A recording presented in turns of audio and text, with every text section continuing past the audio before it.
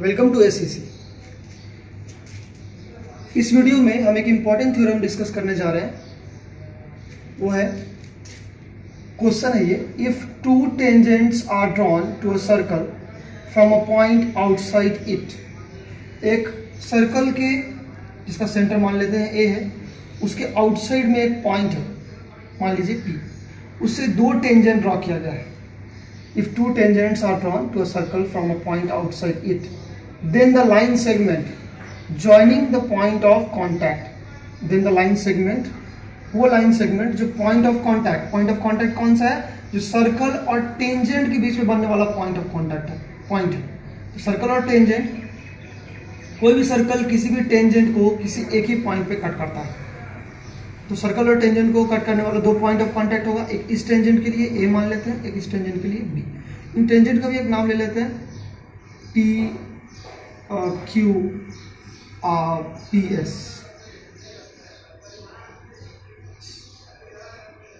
दो point of contact है A and B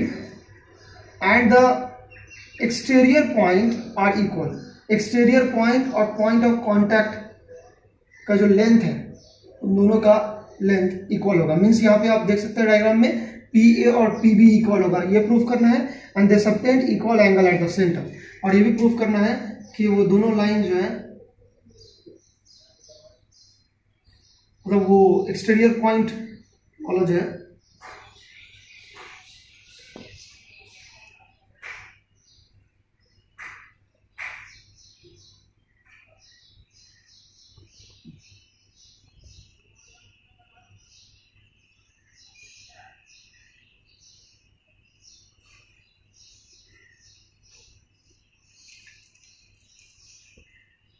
एक पॉइंट जो है वो सेंटर पे सेम एंगल बनाता है मीन्स पी ओ ए और पी ओ बी इक्वल है ये चीज प्रूव करना होगा so given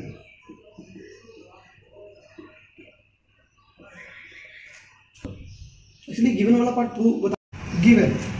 P B a point outside the circle with centre O P एक पॉइंट है जो सर्कल के आउटसाइड है और इस सर्कल का सेंटर ओ है from the point P P point से दो टेंजेंट पी ए और पी बी ड्रॉ किया गया वो सारी बातें जो जो हमने अज्यूम किया है उसको यहाँ लिखेंगे पी ए और पी बी दो टेंजेंट है सॉरी पी क्यू और पी एस दो टेंजेंट है और पॉइंट ऑफ कॉन्टैक्ट जो है सर्कल और टेंजेंट के बीच में वो ए और बी है वो सारी बातें यहाँ लिखेंगे from the point P two tangents P Q and P S are drawn A and B are point of contact between the tangent and of the radius PA uh, PQ और PS respectively. PQ और PS के लिए जो है दो point of contact A और B है और PA and PB makes angle PA और PB सेंटर पे जो एंगल बनाता है सेंटर पे एंगल बनाता है कौन सा POA और POB वो दोनों एंगल है POA and PB are T P required to proof proof क्या करना है हमें एक पार्ट तो ये प्रूव करना है कि आउटसाइड पॉइंट से पॉइंट ऑफ कॉन्टैक्ट का जो लेंथ है यानी पी ए और पी बी ये इक्वल होगा और दूसरा चीज़ आपको प्रूव ये करना है कि वो इक्वल एंगल बनाते हैं सेंटर पे दो एंगल सेंटर बन रहा है पी ओ ए सेंटर पे एक एंगल ये है सेंटर पे दूसरा एंगल है पी ओ बी ये दोनों एंगल इक्वल होगा ये बात भी हमें प्रूव करना है नेक्स्ट इसमें कंस्ट्रक्शन नहीं है इसमें नेक्स्ट पार्ट है प्रूफ प्रूफ में हम क्या करेंगे हम दो ट्राइंगल सिलेक्ट करेंगे जो दो ट्राइंगल आपको दिख रहा है that is P A O और दूसरा P O B in triangles in triangles कौन कौन सा पी ओ ए एंड दूसरा ट्राइंगल कौन सा है P O B P O A और पी ओ बी जो दो ट्राइंगल हैं उन दोनों ट्राइंगल में पीओ कॉमन साइड है PO is common side PO तो दोनों ट्राइंगल में है मौजूद है दूसरा ओ ए रेडियस है और ओ बी बी रेडियस है O A and O B are radius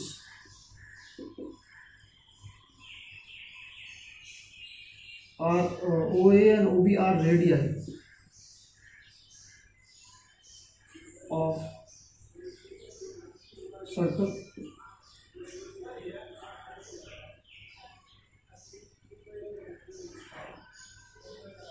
They are radii of circle PA and PB dangerous. Hmm. So TA and PB are tangents.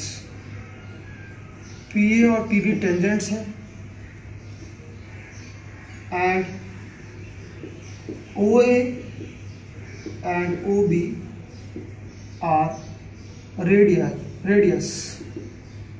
OA and OB are radius. on point of contacts point of contacts PO P भी tangent है और ओ A और O B अगर radius है तो इससे पहले एक थ्योरम में प्रूव हो चुका है कि ओ ए जो कि रेडियस है वो परपेंडिकुलर होगा टेंजेंट पे यानी कि पी ए पे और उसी तरीके से ओ बी भी परपेंडिकुलर होगा tangent P B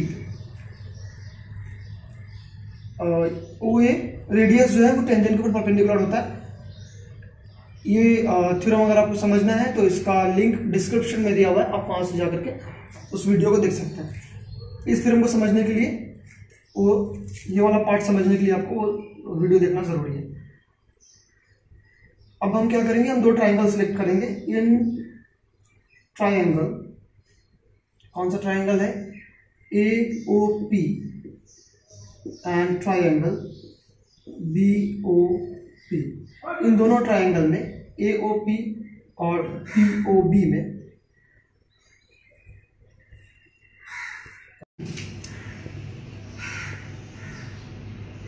so P A O दो ट्राइंगल सेलेक्ट करेंगे हम इन triangle P A O and दूसरा ट्रायंगल पी बी ओ इन दोनों ट्रायंगल में सबसे पहला side O P is common side O P जो है वो कॉमन साइड है ओ पी कॉमन साइड है नेक्स्ट दूसरा O A O A equal to O B होगा क्यों इक्वल होगा क्योंकि रेडियाई ऑफ सेम सर्कल ये दोनों एक ही सर्कल का रेडियस है नेक्स्ट एंगल काफ़ी आसान है ये हमें इनको दोनों ट्राइंगल को कॉन्ग्रुएंट प्रूव करना है और कॉन्ग्रुएंट प्रूव करने के लिए ये जो कंडीशन लगते हैं हम उसी को प्रूव कर रहे हैं तो ये जो पी ए ओ पे बनने वाला जो एंगल है पी ए ओ और पी बी ओ जो एंगल है वो आपस में इक्वल होगा और बेसिकली दोनों 90 डिग्री है क्यों 90 डिग्री है क्योंकि दोनों राइट एंगल है क्योंकि ओ ए जो है वो परपेंडिकुलर है पी ए पे और ओ बी जो है वो परपेंडिकुलर है पी बी पे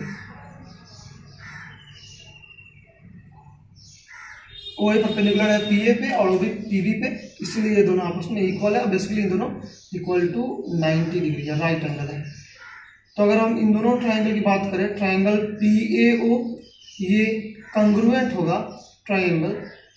पी बी ओ के साथ और रूल क्या होगा यहाँ पे चूंकि राइट एंगल है तो राइट एंगल हाइपोटेनियस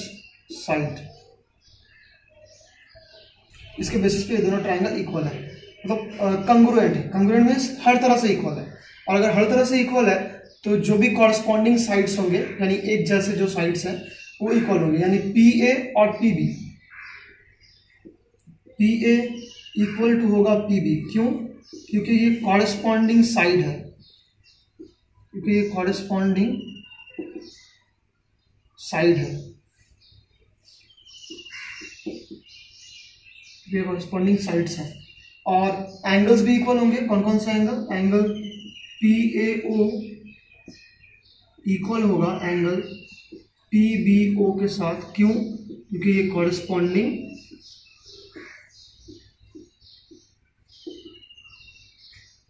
angles